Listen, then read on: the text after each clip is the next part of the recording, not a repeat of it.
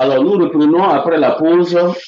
Euh, cette fois-ci, nous allons parler de la leçon 2, euh, parler des critères d'analyse et chantier photogrammétrique. D'accord?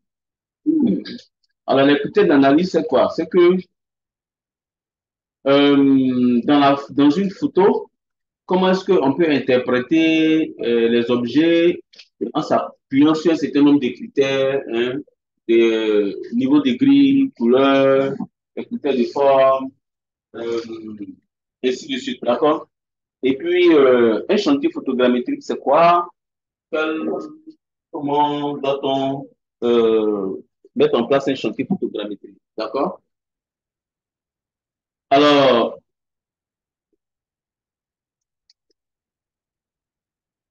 Donc, on va parler des critères et puis parler d'un déroulement des chantiers photogrammétriques. Bien, on a déjà parlé des, vecteurs, d'accord? L'antenne est équipée d'un GPS et d'une caméra et qui va respecter un plan de vol. Alors, voici ici dans la première page un exemple de plan de vol. Vous voyez un plan de vol? Donc, faire de la photogrammétrie, c'est aussi faire de l'acquisition. Donc, savoir euh, planifier un plan de vol et savoir euh, définir des paramètres de vol et aussi, euh, quand on parle des paramètres de vol, ce sont les lignes, euh, l'altitude, la caméra à utiliser et le nombre de photos pour couvrir la zone.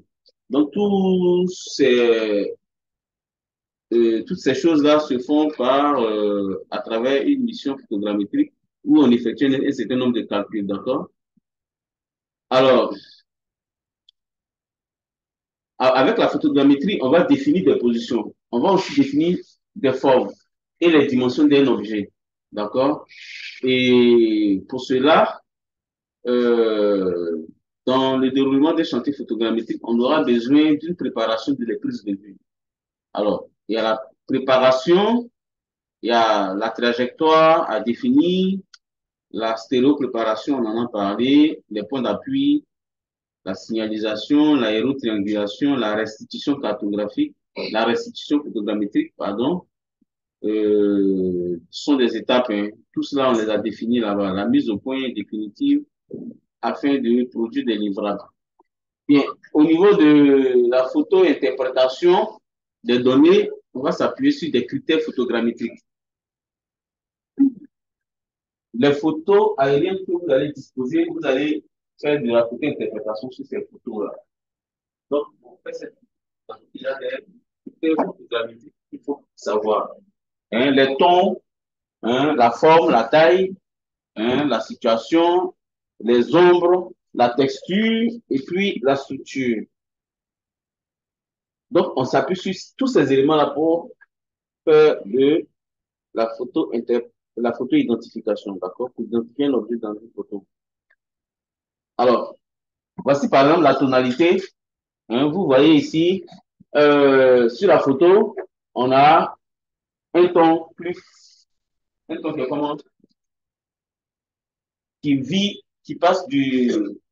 Bon, ici, on voit une discontinuité parce qu'il y a deux tons différents. Donc, on voit un ton bien marqué en gris et l'autre, gris noir et l'autre est gris clair. Vous voyez, non?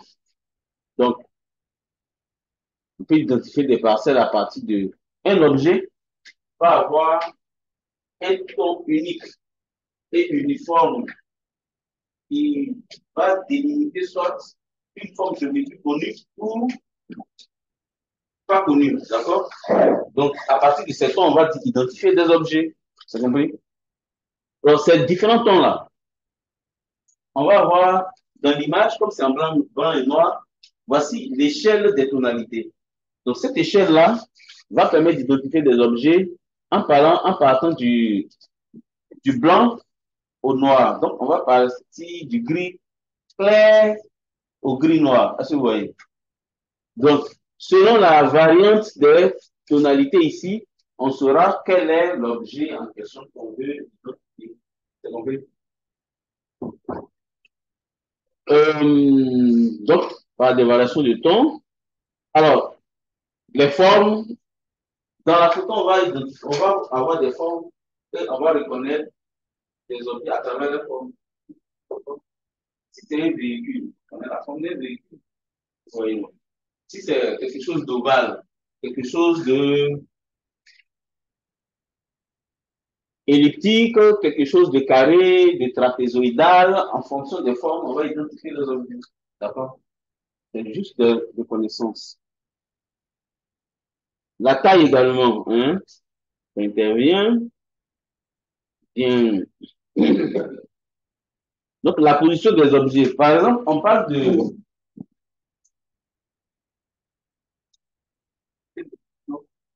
Alors, je vais identifier l'objet.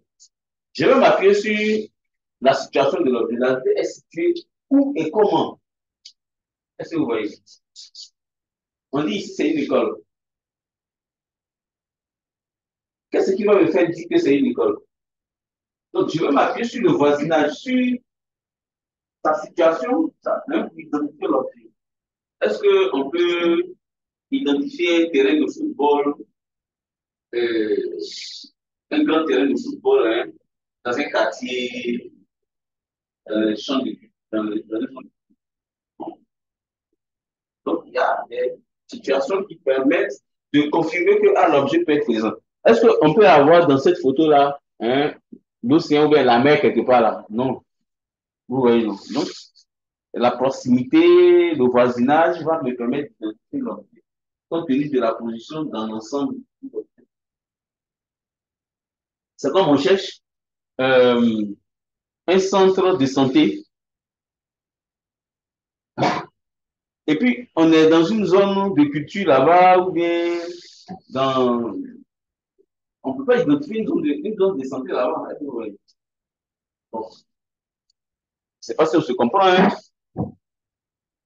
Alors, vous lisez pour bien comprendre. Hein? Alors, on dit le critère est basé sur la localisation spatiale d'un objet Hein? Donc, sa position relative avec un autre objet qui est proche. Alors, l'ombre. Voilà. Dans cette image, qu'est-ce que vous voyez? Dans la photo, nous avons des taches blanches. Ces taches blanches-là, ce sont des nuages. Alors, ces nuages cachent l'information qui est en bas n'est-ce pas? Mais ces nuages-là, par rapport à, au temps, par rapport à la durée, par rapport euh, au déplacement du soleil, l'ombre, si le soleil est au zénith, le nuage, on va voir la tâche, on va voir euh, le nuage, mais on va pas voir l'ombre. Si le soleil va se déplacer selon un certain décalage, alors on va avoir les nuages sur l'image, mais aussi l'ombre du nuage. Voilà. Alors, si, ici, on parle de ombre par rapport au nuage, mais euh, un immeuble qui est là, l'immeuble peut projeter hein, une ombre, d'accord. Et on peut, en fonction du temps, s'il est 13h, 14h ou 15h, en fonction du temps, on peut connaître le soleil est au zénith et puis le soleil va se coucher. Donc, en fonction de la, du temps et de la taille de l'ombre, on peut estimer la hauteur de l'immeuble. D'accord? Ce sont des calculs qui se font en photo interprétation là. Tout ça. Alors, la texture. La texture, c'est euh, le mot d'agencement en parlant de granulométrie. Hein, par exemple, ici, on va dire, c'est une texture fine, texture moyenne, texture grossière. Donc, en fonction de la texture, on peut identifier les objets. Vous voyez, non? Voilà. Texture, ici, on a dit 10. Hein? Voilà. La structure. Alors, la distribution spatiale et uniforme des objets. Hein? On va avoir des structures parcellaires, rectangulaires, ou ainsi de suite. Des structures ponctuelles, voilà. Bien, ce qui nous intéresse, c'est le déroulement des chantiers photogrammétriques, les paramètres temporels de vol, d'accord? Vous lisez, hein? Donc, il faut avoir une valeur, une fourchette, hein, la période de l'année, hein, Euh, voilà. Il faut être dans un bon temps pour effectuer ces missions-là. L'heure du jour, par exemple, vous allez définir l'heure du jour selon que euh, la zone, il y a moins de nébuleuses, hein, vous allez pouvoir euh, valider le vol. Alors, on va choisir aussi euh, la caméra, le type, le déroulement du chantier, le type, de caméra, d'accord? Donc, voici des, deux caméras avec des focales différentes. Alors, il y a, lorsque on est, ça c'est, la distance focale ici est faible, non? C'est quand on prend C2, C2 est plus petit que C1, non? Alors, lorsqu'on est au C2, la focale est petite. La focale est petite, vous allez voir que la prise de vue, là, cette distance de là et là, hein, il y a une grande emprise. Alors, si la focale est grande, on va avoir une petite emprise, n'est-ce pas? Donc, voilà des caractéristiques de la caméra. Donc, on va prendre des, images dans le rouge, dans le visible. Le visible, c'est rouge, bleu, vert. D'accord? Il y a une échelle de restitution qui permet, à travers une... Euh, qui permet de mettre en relation l'échelle de l'image en tenant compte de la distance de prise de vue. D'accord? Sont des tableaux comme des, qui sont comme des, qu'on peut consulter et faire des rapprochements, quoi. Les plus de vues, vous voulez une carte à n'importe quelle échelle. Alors, si vous voulez une échelle de 1 dix millième, voilà, voici les spécifications approximatives que vous devez respecter. Voilà. Juste des catalogues pour consulter. Euh, la direction des axes de recouvrement, voilà. Tout ça, ce sont des reprises de la photo-interprétation. Vous allez voir le recouvrement longitudinal, le recouvrement latéral, et on va définir, euh, on va définir les valeurs de recouvrement. Mais en moyenne, une, un recouvrement longitudinal, ce sont des photos prises sur une ligne de vol, on parle de recouvrement longitudinal. Et ces valeurs-là varient en fonction, varie de 60%, on peut, on peut définir 60%, on peut dire 40%. Mais pour le recouvrement latéral, le recouvrement latéral, on parle de recouvrement stéréoscopique. Hein, c'est environ 3, 30%. Hein, 30% de recouvrement latéral.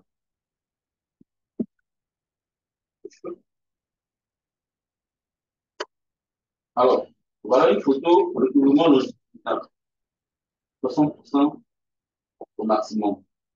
Puis 50 puis 40, mais généralement 60%. D'accord? Mais lorsque, pendant le plan de vol, l'avion a fini cette ligne, l'avion va revenir en revenant hein, sur une autre ligne parallèle là, qui est proche, voilà, alors, le recouvrement ici est 30%. 30% au maximum.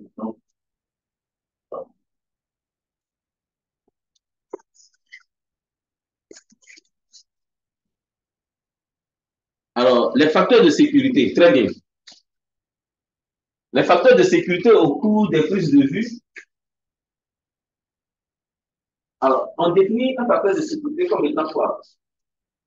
Si je veux prendre photo de... Elle, elle a un champ de palmier. Elle a la parcelle. Elle a combien d'hectares Il faut m'embaucher. 200 hectares. Donc, 200 hectares. La zone est circonscrite, non Vous avez le polygone de la zone. On peut entrer dans la tablette. Dès qu'on fait entrer dans la tablette, en même temps, la tablette a une application qui est liée sur le drone. Et le polygone est dessiné. Le, le contour de sa zone, là, on va convertir, c'est un fichier qui est en format shape, on va convertir en un fichier PMZ qui est pris en charge par Google Earth. D'accord? Et en même temps, la tablette, le, programme va définir les lignes de vol. Donc, on choisit les paramètres. Hauteur de vol, la caméra. On choisit, dès qu'on a défini, en même temps, il sort le nombre de photos. Et on va voir que les photos là couvrent exactement la limite de sa zone. Donc, si sa zone est limitée là, voilà sa zone, et exactement la photo passe ici. Oui, non. Donc, en définissant une ligne de vol comme ça, là, la limite de sa zone, il y a une photo, il y a des photos qui passent là exactement sur la même limite. Ça, ce n'est pas un facteur de sécurité. Le facteur de sécurité exige que, c'est vrai que sa limite est là, mais je dois ajouter une ligne de vol ici pour avoir, sûr que euh, toute sa zone est inscrite dans le, le plan de vol. D'accord? Alors, donc quand c'est comme ça, il faudrait qu'on mette une ligne de vol ici. On Et donc, le facteur de sécurité aussi exige que, au cours d'une ligne de vol, je dois faire plus 1 au début et plus 1 à la fin. Je dois ajouter une photo à la fin et une photo au début. Vous, vous comprenez? Voilà.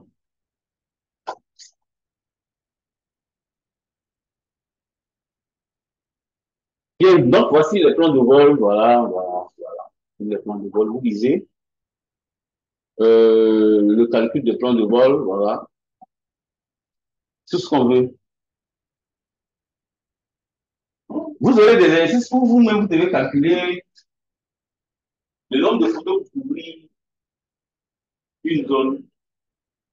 Voilà. Donc, on va le faire dans le TP, ne vous inquiétez pas. On va, on va faire tout ça, on va faire, on va calculer. Voilà.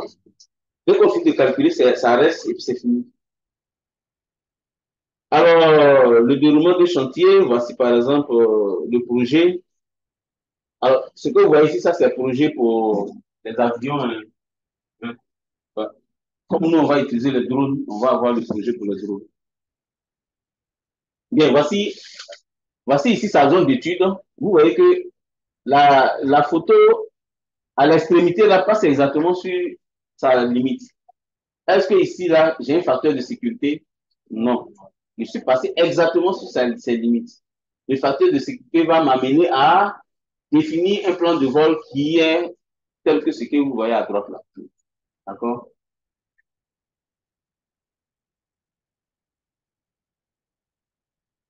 Bien, bien, bien. Après ça, euh, qu'est-ce qu'on doit savoir?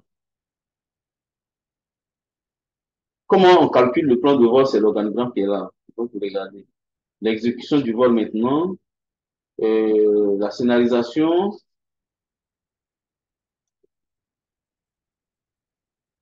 ça pour éviter le vol et l'erreur. Hein, hein. Alors, les étapes ici, on va faire l'aérotriangulation, générer le MNT, création des orthophotos et faire la restitution. Ça, c'est la méthodologie là. D'accord? Euh, donc, voilà pour ce qui est de cette leçon, hein, la production des images numériques à très grande quantité constitue donc une chaîne de production photographique. Bon. Question? Vous lisez, vous prenez connaissance. S'il y a question, oui Oui, j'ai une question. Euh, vu que vous avez parlé un peu de ce que nous verrons euh, par rapport à la photographie pour la génération des mosaïques, euh, des MNT et est-ce qu'on on verra aussi par rapport à euh, l'agriculture de précision, c'est-à-dire que euh, la nature et l'aspect de, de, la végétation?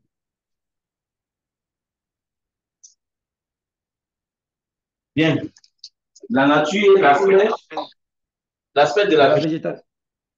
Hmm. Dit que on veut, vous voulez faire quoi? Vous voulez interpréter les types de végétation, c'est ça? Non, je veux, oui, je veux parler plutôt de l'agriculture, en fait, de précision. C'est-à-dire que euh, le plus souvent, ici, nous utilisons la photogrammétrie pour identifier les besoins euh, en engrais de, de, de la plante. C'est-à-dire qu'on identifie ici, ici, il y a un besoin de NP, NPK et à, à travers la substance qui euh, euh, comme on appelle ça, la plante. Donc, on verra ça aussi. Bon, ce que tu parles là, ce sont des notions de spécialité. Alors, ici, on est en, on est en UE transversal. UE transversal, ça veut dire quoi? Ça veut dire que euh, on prend connaissance de ce que c'est que les photos aériennes, comment les utiliser, comment interpréter les informations, comment sortir euh, le relief. Maintenant, en spécialité, si vous avez, vous voulez interpréter tel que la thématique dont vous venez d'aborder là, alors là, on va en profondeur. C'est quoi? C'est qu'on va utiliser euh, les données photos, on va sortir des orthophotos et là-bas, il y a une méthodologie de, pour l'utilisation des photos là. On fait la, euh, des classifications, comment identifier les types de, les types d'objets, les plantes, et même voir à, travers les surveillances, comme vous l'avez dit, on peut même aller avec les photos aériennes par photogrammétrie, identifier les plantes et même les maladies qui sont sur les plantes.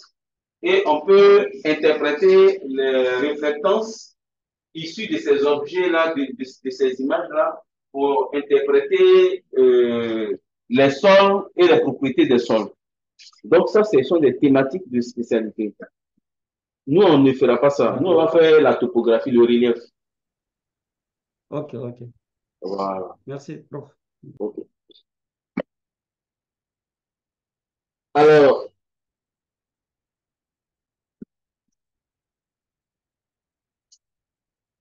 on est dans le temps. Hein?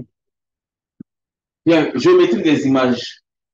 Et l'autre, il n'y a pas de question à avoir. C'est lui seul qui a question.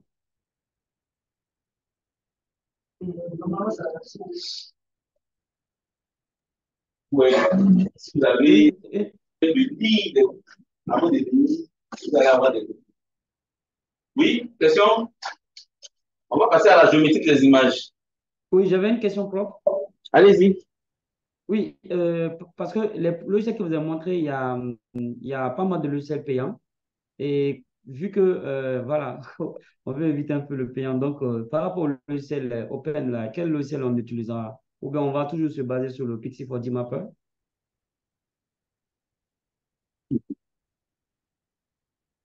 D'accord.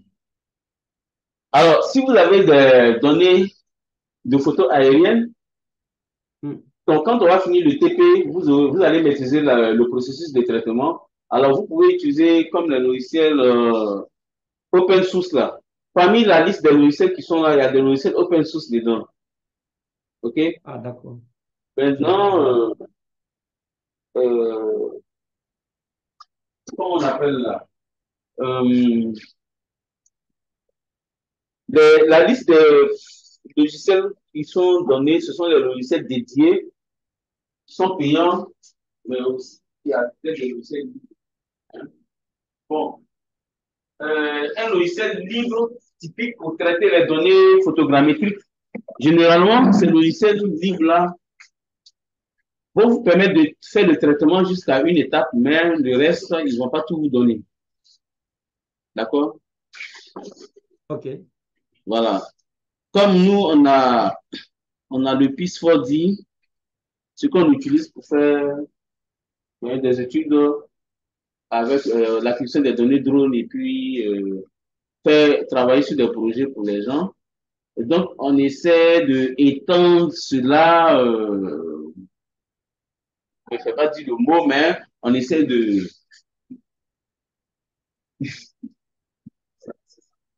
on essaie de, on essaie de, d'utiliser la licence complètement pour que vous ayez pu travailler avec. D'accord?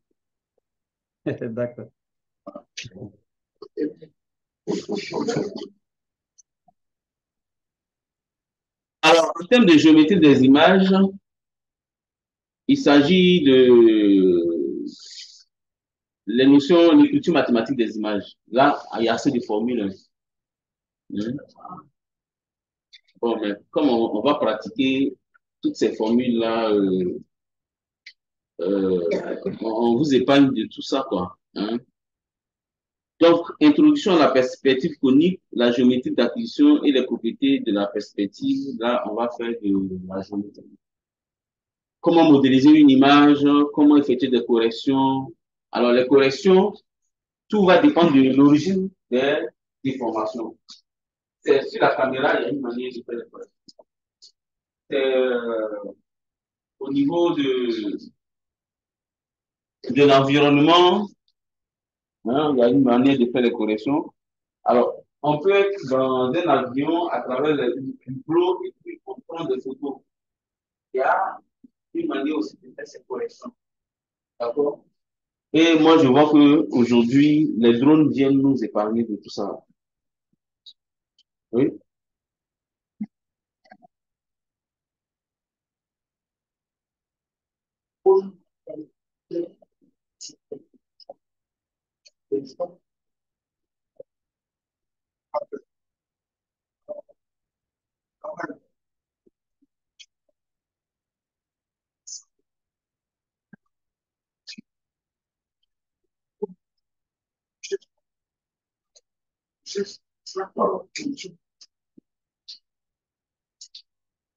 Alors, l'important, c'est de savoir que les erreurs et les méthodes si on observe notre connaissance personnelle pure un instant. Maintenant, ces erreurs-là proviennent des images à travers les avions. Avant, c'est comme ça en fait. L'hélicoptère passe prendre un avion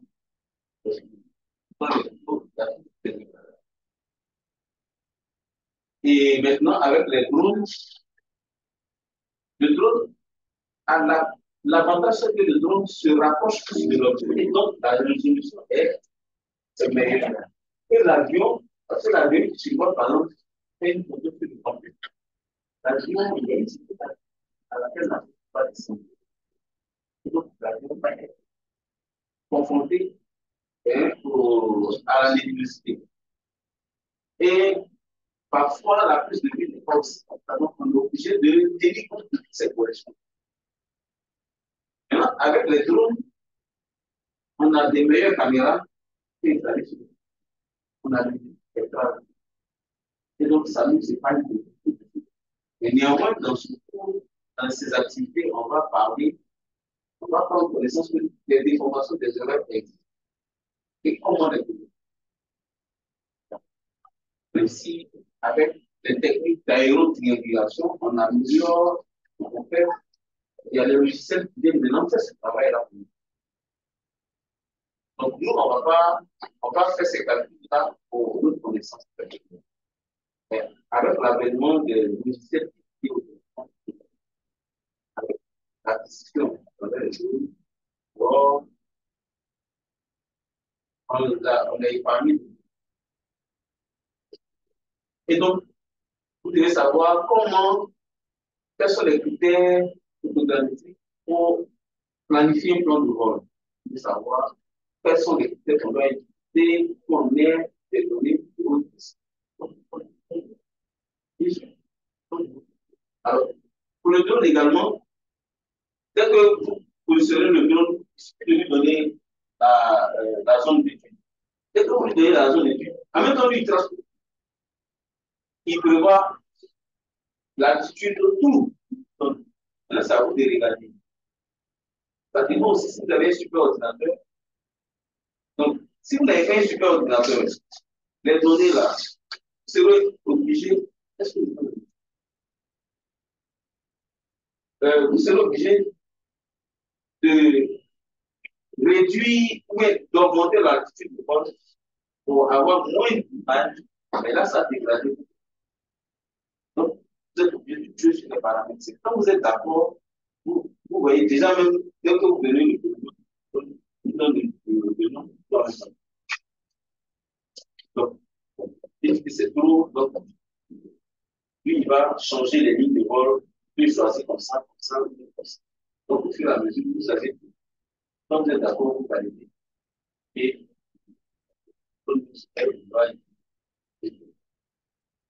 et en même temps, vous avez les images et PC. Et, créer un projet d'abord et à travers le projet, commencer Oui. oui.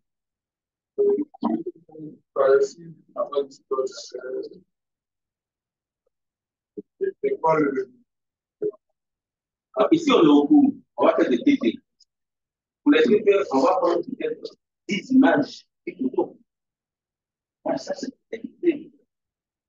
Mais quand tu seras euh, dans une entreprise, euh, on dit c'est l'espèce de géomaticien, l'espèce de là-bas, là, c'est comme des hectares, des centaines d'hectares. Donc, c'est juste ta machine. Tu vas faire un Tu vas dit, pour traiter ces données, des super ordinateurs. Ils ont les moyens, ils vont. Ordinateur. Les gamers, cette deuxième génération, Bon, ma machine, ma machine, c'est un gamer, euh, 32 gigas de RAM, dixième génération, et a un turbo là-dessus. Donc, dès que je lance les quand j'active mon turbo, en fonction de la capacité de traitement, j'ai le résultat en un temps record.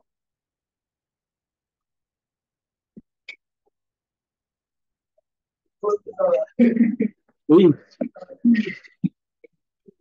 Alors, bien, donc on va voir quelques déformations. Alors, voici une image. Voici l'image au niveau de, de l'appareil, au niveau de, du centre optique, hein, et j'ai le terrain, le sol. Donc, l'objet est au sol et j'ai sa représentation ici. L'objet au sol a pour coordonnées X, Y et à une altitude. X, Y, grand X, grand Y, grand Z. La représentation de cet objet dans ma photo au niveau de la caméra.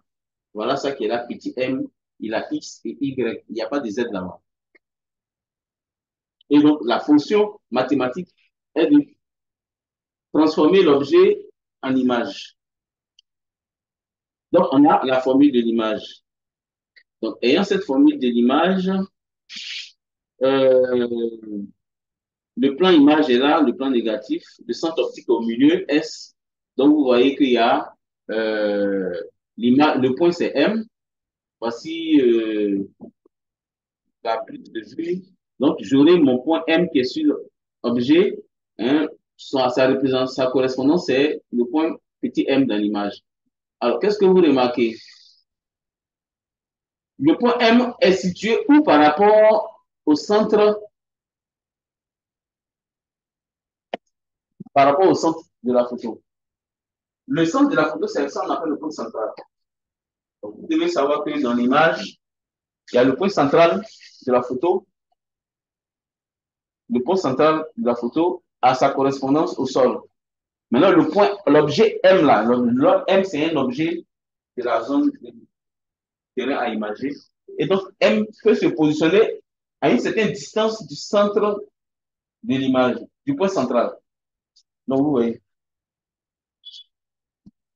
Alors, donc, euh, il y a plusieurs types de géométrie. Hein. Géométrie canonique, géométrie cylindro-conique. Tout ça là, c'est par rapport à des projections. En fait. Alors, je viens ici. Euh, l'image est une droite. La notion de point de fuite. Alors, donc, qu'est-ce que je veux dire? chaque point, chaque point de l'image va être représenté et en s'appuyant sur le centre optique O qui est ici. Donc, une droite, l'image d'une droite et point de fuite. Donc, ici, on représente cette droite-là. Tous les points qui sont sur cette droite-là, on les représente dans le plan image et on va parler de point de fuite. Le point de fuite, c'est euh, alors, voici une droite. La droite, elle est infinie là. Mais moi, si j'ai ma zone, ma, sur cette droite-là, j'aurai la limite, j'aurai les deux points extrêmes. Donc, le point de fuite, c'est que chaque point image qui est sur une droite hein, va avoir l'image à l'infini là. Hein. Le point de fuite, ça sera quoi? Ça sera par rapport au centre de l'image, au point central, l'image est où? Vous voyez, au fur et à mesure, j'ai j'ai quoi ici? Un point là, après j'ai un point ici, après j'ai un point ici. Au fur et à mesure, ce point-là va se déplacer. Il va se déplacer par rapport au centre, au point central I. Ça va se déplacer. Donc, c'est ça qu'on appelle ce déplacement, c'est le point de fixe. D'accord? Oui. Alors,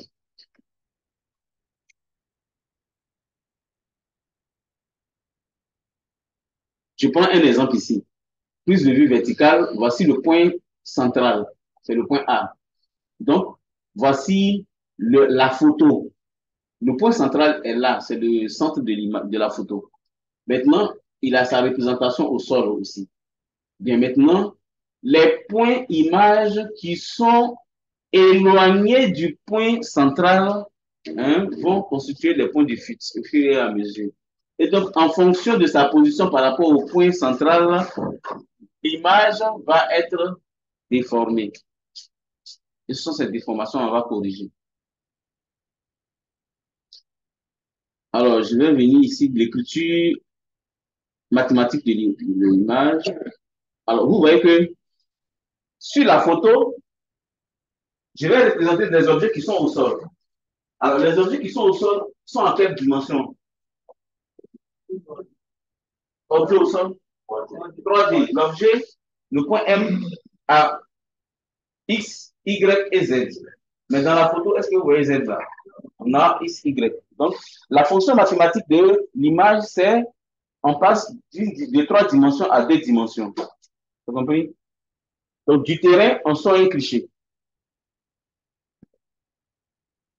Alors, la photographie égale à quoi? La perspective conique qu'on vient de voir en faisant des projections là, plus la correction que nous allons apporter, c'est l'association des deux qui donne la photographie. D'accord? Ah, Je vais vous embrouiller ici. Alors, pour faire ces corrections dans une image, vous devez lire pour comprendre. Alors, voici le plan image qui est tracé là. Grand M, c'est le point au sol. D'accord? S, c'est le centre optique. N'est-ce pas? Et M, mon petit m, c'est la représentation du point objet qui est au sol sur le plan image. Donc, vous avez le plan image. Si on a compris ça, c'est déjà bon. Alors, maintenant, je pars de 3D à 2D ici. C'est compris? Alors, du point M à, sa, à son image, petit m dans le plan image, qu'est-ce que j'aurai? J'aurai une droite qui relie grand M, le centre optique et le point petit m. D'accord? Donc, maintenant, en faisant une projection, je vois que dans le plan image, euh, le, point de fuite par rapport hein, va être, par exemple, ce point-là où on a le PPA.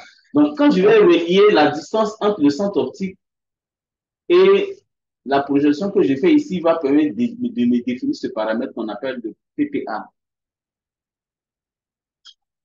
Bon, je vais vous laisser aller lire d'abord. Vous allez partir lire pour comprendre. Hein? Je ne vais plus expliquer les formules, je vais juste expliquer ce qu'on fait avec. D'accord? Alors, le PPA, c'est le point principal d'autocollinéation. Donc, pour chaque point de l'image, vous allez déterminer le PPA. Vous devez connaître le R Hein? Vous devez connaître euh, F, vous devez connaître le PPA. Et donc, on va utiliser ces paramètres-là pour corriger l'image. Bien, maintenant, je passe de l'écriture matricielle de l'image. Ce que j'avais là-bas, c'était l'écriture, la fonction de l'image, l'écriture matricielle. Je vais venir donner une écriture matricielle à l'image. Petit m est égal à ce que vous voyez là. D'accord? Donc, euh, ne vous laissez pas distraire par les formules. Ce que vous devez savoir, c'est que petit m, là, on applique la fonction matricielle et on a, à partir de grand M, on a le petit m. C'est tout. Alors, dans cette écriture matricielle, on va avoir six inconnus. Retenez qu'on va avoir six inconnus. Donc, on va sortir la matrice. D'accord? Et à travers cette matrice, on va générer notre image qui est x, y, petit x, y. Et je vais prendre le point PPA, le x et le y PPA. Je vais ajouter la correction, voici la correction qui est ici, cette matrice-là, pour avoir mon point image matricielle. Donc, pour la correction, on va vous donner des paramètres et on va calculer ces paramètres-là pour modéliser l'image. Donc, on vous dira que pour la correction de l'image, on va corriger, euh, on, va, on va calculer un paramètre qui est le DR. Une fois qu'on arrive à calculer ce paramètre DR, alors on va corriger tous les points de vue. on va vous montrer comment calculer ce DR-là. Pour ne pas casser sa tête avec toutes les formules. D'accord? Alors, la deuxième correction, c'est la correction qui est due au capteur. Donc, c'est maintenant, on va rentrer dans les corrections. La correction due au capteur. Au niveau de la correction due au capteur, le capteur peut avoir des, erreurs dues à la distorsion. Et donc, c'est la distorsion là que nous allons voir. Vous voyez ces messieurs, ils sont assis, non? Ils ont mis des balises au sol. Et ils sont en train d'observer quoi? Une façade de quelque chose. Quelle est la tendance d'observation quand eux ils regardent Vous avez l'impression que le bâtiment là est déformé. C'est vrai, non? Parfois, vous allez, il y a des immeubles en construction, vous êtes en bas, vous regardez l'immeuble, c'est penché. Vous avez la sensation que le pied est penché. Parfois, vous voyez que les fenêtres là-même n'ont pas les mêmes tailles. C'est la perspective. Tout simplement. Donc, c'est ça on, essaie de corriger. Donc, soit c'est dû au capteur, soit c'est lié à l'environnement. D'accord? Alors, voici la correction qu'on va apporter. Dans tout ce que on, ce qui est là, c'est ça là, vous allez regarder. Alors, voici euh, le plan image qui est cette droite-là. Ici, c'est le centre optique. Un faisceau qui vient comme ça dans ce milieu va passer par le centre optique et venir sur le plan image. Ça, c'est ce qu'on connaît. Alors, maintenant que on prend notre euh, optique, l'optique parfaite, c'est quoi? C'est que le point M qui est au sol ici, son image, c'est le petit point M'. Dans le plan image, voici sa représentation dans la photo. L'objet grand M ici. L'objet va traverser le centre optique et on projette ce point image dans le plan image. D'accord? Qu'est-ce qu'on constate? En réalité, c'est ici qu'on devait avoir le point M. Mais dans la photo que vous allez prendre là, le point M va venir ici. Donc, toute cette prise de vue avec la caméra, si vous utilisez l'image comme ça, vous allez faire des erreurs de distance.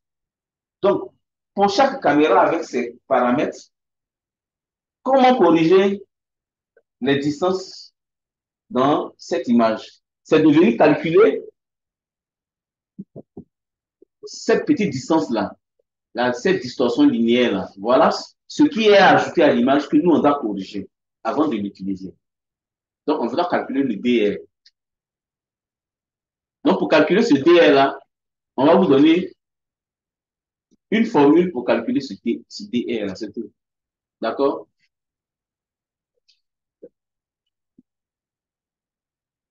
Alors, on a parlé de PPA, on n'a pas encore parlé de PPS. Le PPS, c'est le point euh, selon la ligne horizontale qui n'a pas suivi de déformation. Le point PPA, c'est le point principal d'autocollinéation, ça veut dire que c'est le, le point M qui est déformé, qui a suivi la déformation. Et nous, on va calculer cette déformation-là pour ramener ce point-là à ici. C'est compris? Voilà.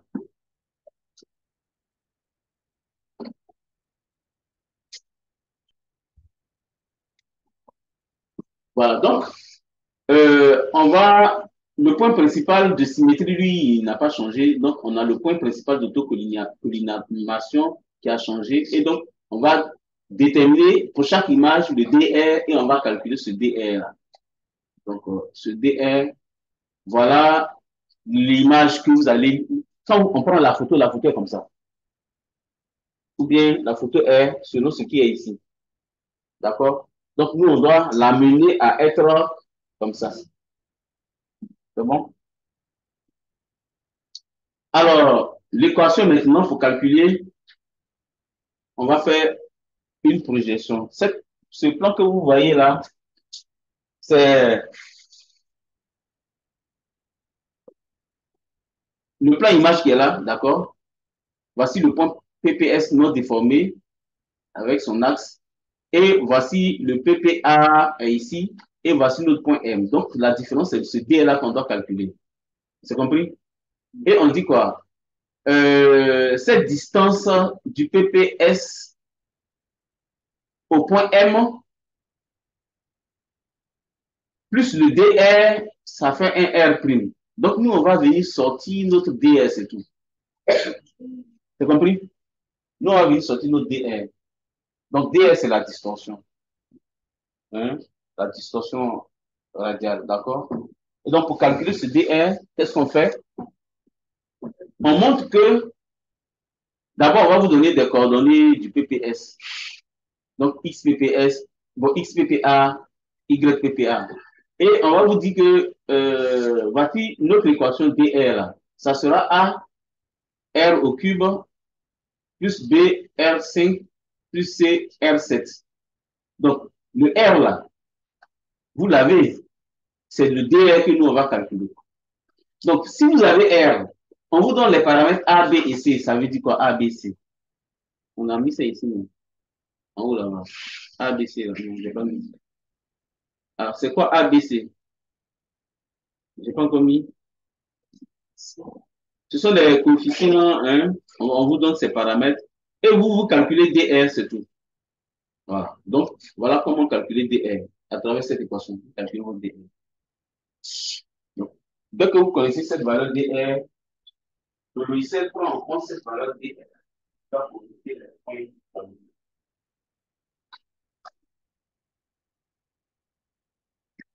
Donc, calculer DR, c'est pas compliqué, c'est facile. On vous donne R, vous avez A, B et C.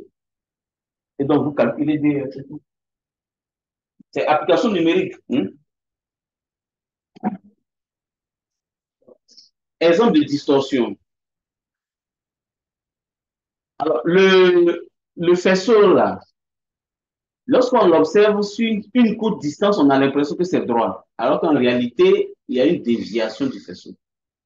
Et donc, c'est ce qui permet de venir, c'est ce qui fait que, au lieu d'avoir le point M', M, on a le point là, petit m, on a le point là petit m'. Et donc, c'est ça, on corrige.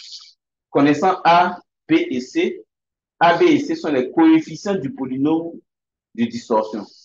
Et donc, vous appliquez l'équation et puis vous calculez votre DR. Alors, pendant la prise de vue avec une caméra optique, vous allez avoir euh, ces distorsions-là dues au canal bleu, vert et rouge. Donc, quand vous prenez la photo, dans le lycée, vous avez les trois couleurs là. Voilà, il y a les informations pour chaque faisceau. Alors, au TP, on va calculer. Voici un exercice qu'on vous donne pour calculer les distorsions DR. D'accord? Voilà. Donc ça, vous pouvez le faire. On vous donne un fichier d'étalonnage. Donc, les paramètres A, B, C là, hein, sont compris dans le fichier d'étalonnage. Donc, dès que vous avez le fichier d'étalonnage, alors vous avez ABC. Et le test va vous donner de calculer R. Si vous avez R, alors vous pouvez calculer la distorsion de R. C'est bon? Donc, ces termes-là, ça correspond à quoi?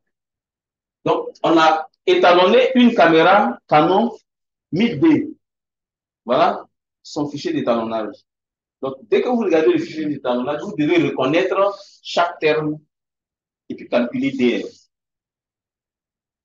D'accord?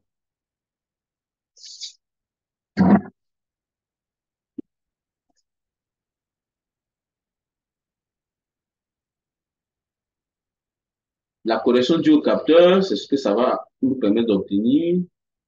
La correction du capteur, c'est la même chose. C'est la même chose. Euh, étalonnage, distorsion, tout ça, c'est fichier d'étalonnage. Hein. Voilà.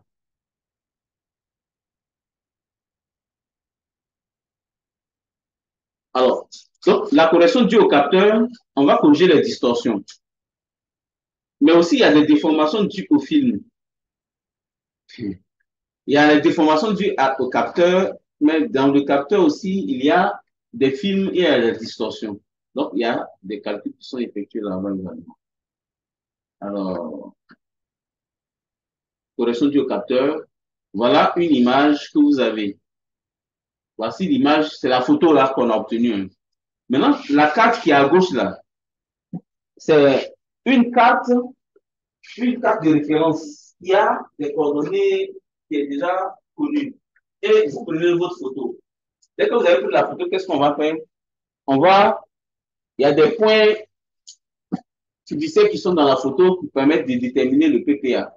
Et donc, dès qu'on a ça, d'accord, euh, dès qu'on a ça, alors on va positionner cette photo-là de telle sorte que elle puisse être superposable à ça. Donc, on va passer d'un système image de référence, on va passer au système de l'appareil et on va sortir un système faisceau où l'image est corrigée.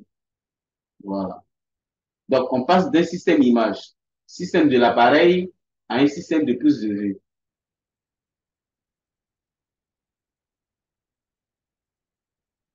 Voilà. Un exemple de calcul. Alors, l'exemple de calcul ici, euh, l'étalonnage de la caméra va nous donner ce qu'on appelle l'orientation interne de la caméra nous avons ces fichiers d'étalonnage là. Hein? Voici le certificat qui est là. Nous avons les repères de mesure et tout cela. Alors, ces données-là, on les transforme dans, un, dans ce tableau-là, tableau lié au film. D'accord? On a les coordonnées X, Y, d'accord? Et on a les paramètres A, B, C, D jusqu'à F, selon les degrés du polynôme. D'accord? Et donc, on fait notre, notre. On va faire ça au TP, c'est pas un problème. À côté de la correction du capteur, il y a la correction due à l'environnement. L'environnement, c'est quoi? C'est la courbure de la Terre, ce sont les réfractions et ce sont les passages du. Est-ce que vous voyez? Donc, vous voyez, les gens ont fait photogrammétrie avant, vous voyez comment ils ont fait. Et ils sont forts. Voilà. En réalité, vous devez faire ça et après, maintenant, on passe à des matériaux où il y a le lycée, tout est fait dans le lycée déjà. Donc, nous, on va apprendre à corriger la distorsion due à la caméra pour calculer PR. Pour n'importe quelle photo que quelqu'un vous donne, vous devez pouvoir consulter euh, euh, le catalogue, le fichier d'étalonnage de la caméra. Dès que vous consultez le fichier d'étalonnage de la caméra, vous pouvez corriger la photo,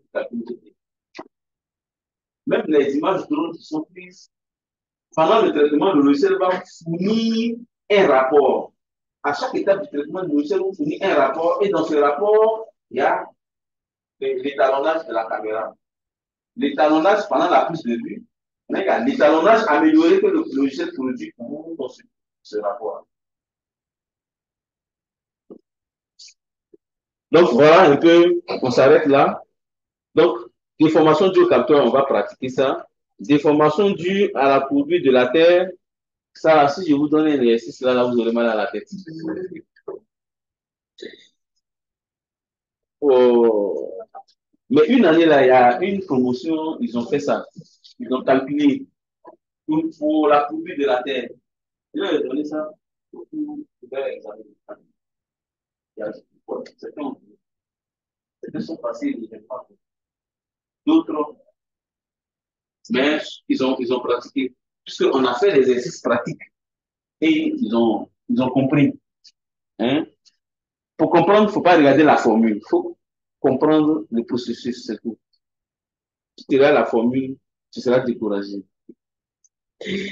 Ok, donc voilà, on, s'arrête là. Mais néanmoins, on vous parle de la déformation due à l'environnement. Voilà comment ces déformations se présentent. Hein? Donc voilà, trois objets. Le plan de projection, euh, selon le centre de l'image, voilà comment la correspondance se fait à cause de la courbure de la Terre. Vous voyez ici, si on veut calculer l'erreur, hein, euh, voici le point qu'on recherche là. C'est le point I. Le point J qui est là, selon la courbure de la Terre, vous voyez, sans la courbure de la Terre, on arrête A, on arrête là. Mais à cause de la courbure de la Terre, le point est ici, J'. Et donc, qu'est-ce que nous, on doit faire? On doit corriger cette distance-là. Cette distance, petit h là, on doit calculer. Donc, une fois qu'on a cette, on a calculé cette valeur h là, c'est fini. Hein? Euh, non, non, h ici, c'est l'altitude de vol. Pardon, c'est pas h là, on calcule. On a le rayon de la Terre, on va venir calculer euh, on, va, on, va, on, va, on va calculer, c'est I, on calcule, non Voilà, on calcule D, DX, Y. Euh, on, va, on, calcule delta X, Y et delta Z. Voilà, on calcule delta X, Y et delta Z. Voilà, donc on va venir calculer celui-là. Delta X et delta Z. Dès qu'on connaît delta X et delta Z, alors on aura corrigé l'image. D'accord? Voilà. Donc, voilà des pratiques que j'ai données, je donne et vous devez être capable de faire ce calcul-là.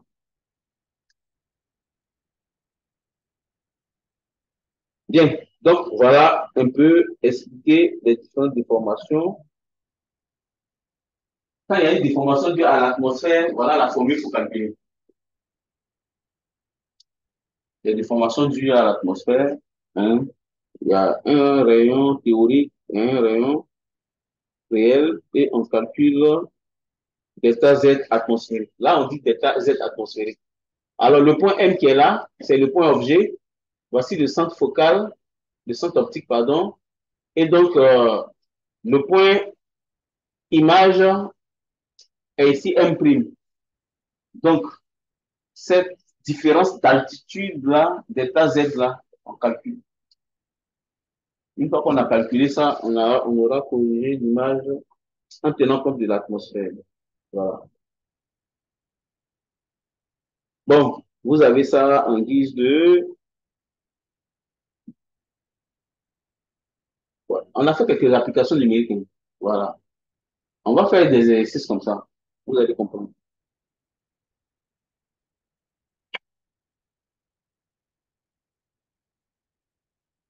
Et en conclusion, on dira quoi? En photogrammétrie, on va s'appuyer sur un référentiel au sol. Une image de référentiel peut être un support carto et on va modéliser la fonction mathématique de l'image et aussi on va donner l'écriture vectorielle et l'écriture matricielle de l'image et calculer les différentes déformations qui sont dans l'image. Une fois qu'on a de calculer les déformations, alors on prend compte ces valeurs de déformation-là pour l'image et on va avoir une image euh, selon le bilan de la formule, on va passer, euh, on va obtenir une image telle que vous voyez hein, en photo plan. D'accord? Donc, le résultat que vous allez avoir là, tous ces processus ça sont appliqués dans les photos prises, euh, les photos aériennes qui sont prises pour obtenir ça. Question?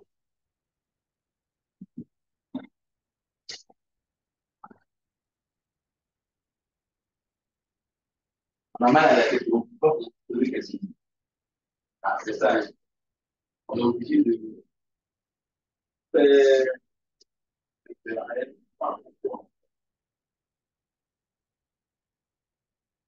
de la haine Avant ça, LMD,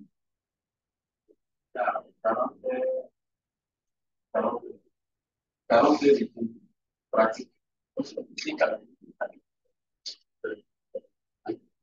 Avec LMD,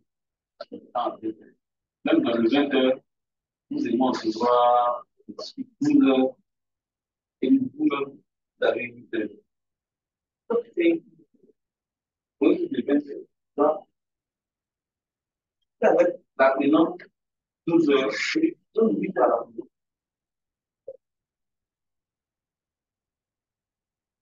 Ça va, c'est bon. Alors, euh, la séance prochaine, on va faire TP. TP sur comment calculer euh, à partir d'un plan de vol, comment calculer les paramètres d'un plan de vol. D'accord? Et puis, comment calculer le nombre de photos qu'il faut pour couvrir une zone selon les caractéristiques qu'on vous donne? Nous, on va calculer cela. Et puis, on calcule une des déformations avec les DM. C'est bon donc, on va faire, la séance prochaine, on va faire ce, ce TP-là. Alors, c'est ça qui est le TP1.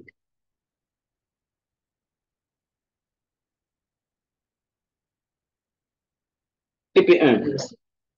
TP1, voilà. C'est ça qui est le TP1. Bon, ici, vous allez faire un peu d'analyse photogrammétrique à partir des couleurs. D'accord? On vous donne l'intensité de la couleur, vous allez identifier les objets. Voilà, vous allez identifier les objets, d'accord? Ensuite, voilà, on va calculer DR. on va calculer DR.